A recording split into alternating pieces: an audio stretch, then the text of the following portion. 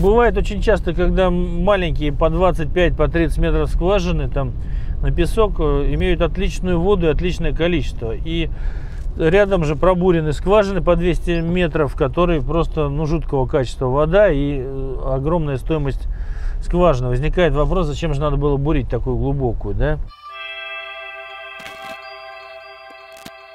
Вообще, по правильному возникновения задачи, потом надо определить, кто это будет исполнять, определить э, как бы тех задания, что исполнять, как, где. То есть как происходит. У возникла проблема, он ищет подрядчиков. Как искать подрядчиков? Ищет по сарафанному радио, спрашивает знакомых, смотрит, если интернет смотрит, то очень внимательно убеждается, что это реальный исполнитель. Э, такой совет, что должно быть хотя бы две машины. А с одной машиной работать очень тяжело.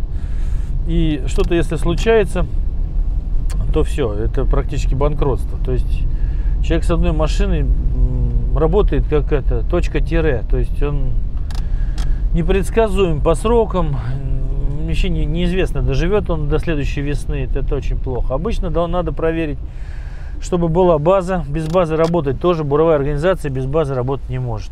Все это абсолютно точно. Должна быть база ремонтная, должна быть хотя бы резерв техники, 2-3 хотя бы вот машины.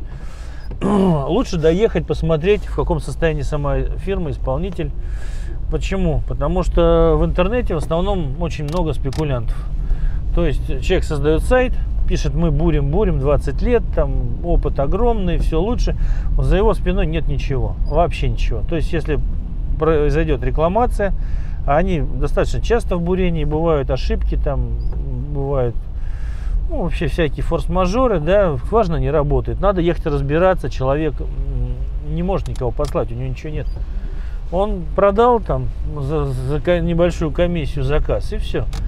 И вы остаетесь один на один со своей скважиной. Там никто за вами заниматься не будет. Зачем ему вы сдались? Сайт в этот, э, ну вот такие основные требования. Потом, если выбрали производителя, работ, да, так сказать, исполнителя работ. Желательно, значит, ну, даже не нежелательно, а обязательно, чтобы на место бурения предполагаемого выехал инженер, специалист, выбрал с вами место бурения предполагаемого, посмотрел заезд техника, залезает этот КАМАЗ или ЗИЛ на участок, как, какие требования есть, что надо там убрать, спилить, э, какие, что мешает, и вы уже подъезжаете на подготовленную, буровая уже подъезжает на подготовленные позиции. Все. Вы в назначенный срок сидите, ждете, э, машина приехала, разложилась, начала бурение. Вот с чего начать. Ну, соответственно, предварительно должна быть полностью проведена подготовка геологическая. Какую мы скважину бурим, какого типа, на как, каким, с какими обсадными трубами, какой техникой, большой, маленький, на ПВХ трубах на стали, там на песок скважина артезианская. Все вам специалисты должны разъяснить э, и показать на пальцах, да, что вот в вашем случае лучше вот так поступить. Да. Бывает очень часто, когда маленькие по 25, по 30 метров скважины там на песок э, имеют отличную воду и отличное количество. И Рядом же пробурены скважины по 200 метров, которые просто ну, жуткого качества вода и э, огромная стоимость скважины. Возникает вопрос, зачем же надо было бурить такую глубокую. Да? То есть специалист э, по рекомендации, которую вы найдете, должен вам разъяснить геологическую ситуацию, подготовить вам точку вашу, геологическую ситуацию на вашей э, на вашем участке там, или на, на вашем предприятии, подготовить решение, нарисовать конструкцию заранее.